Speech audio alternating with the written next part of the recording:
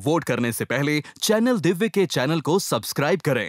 Bell icon को click करें। फिर वोट करने के लिए लाइक करें वो कमेंट करें। यदा यदा धर्मस्य ग्लानिर्भवति भारत अभ्युत्थानम धर्मस्य तदात्मा